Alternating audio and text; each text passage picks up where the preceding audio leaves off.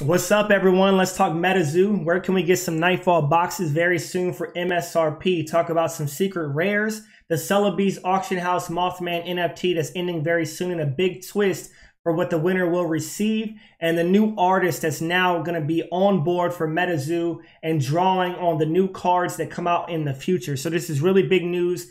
And I have another secret key leak of news that I want to show y'all. So hang in and stay tuned for that. So the first thing I want to talk about, right, is break down the secret rare really quick. Most of you are tracking the red ink. The secret rare, there's a hundred of them in the first release of MetaZoo, Cryptid Nation, and there's 25,000 boxes. So as we can see on 130point.com, one sold for $12,800, down from an asking price of 30,000. That was a PSA 10 secret rare red ink card for MetaZoo, and that is quite a bit of money.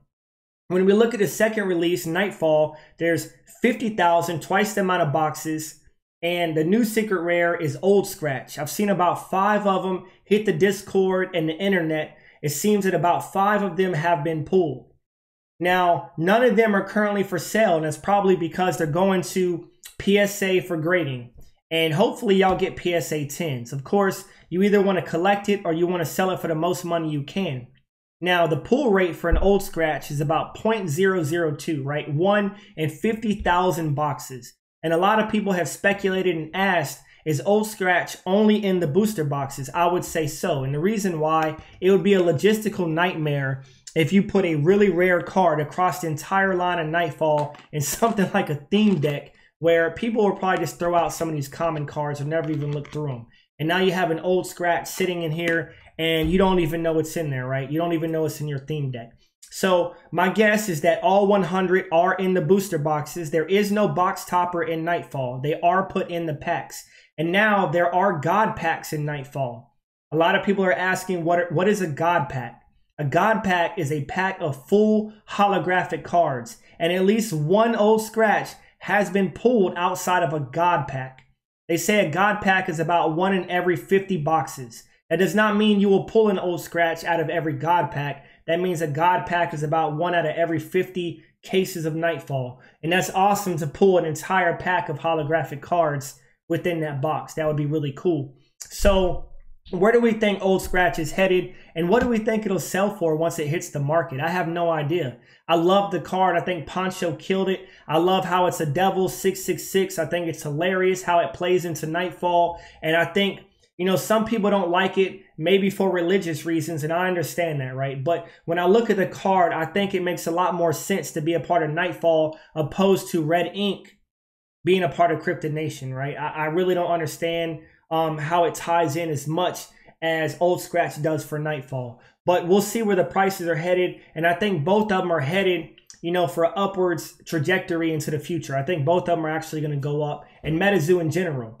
So the next thing I want to talk about, there's a new artist on board for MetaZoo, Lanumbra Senpai.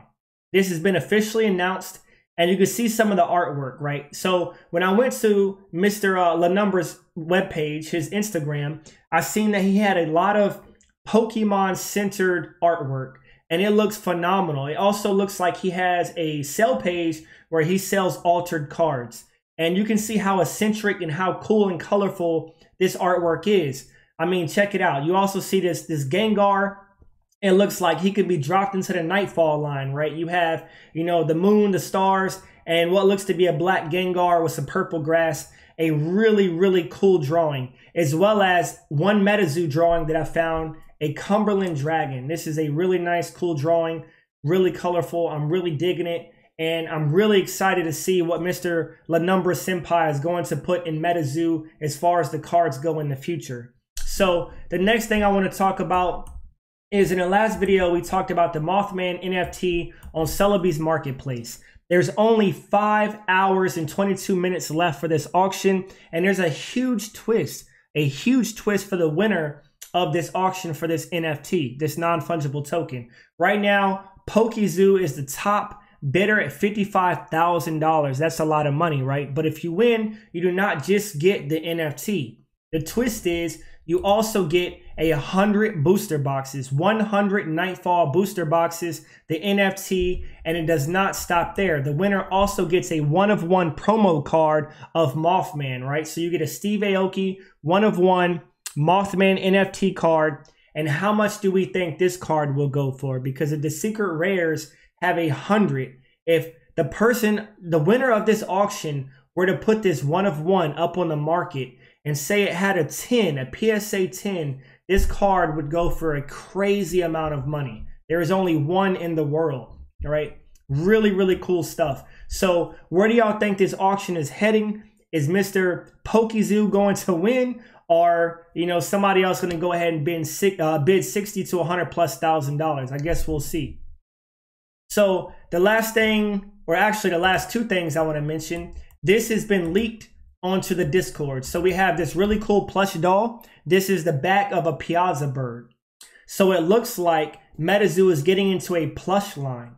So I think it's really cool if they start dropping different toys. And I would love to see a Grim Reaper plush or a Mothman plush, right? That would be really, really cool. So I'm really excited for that. What do y'all think about that? And the last thing I want to mention for y'all is Whatnot.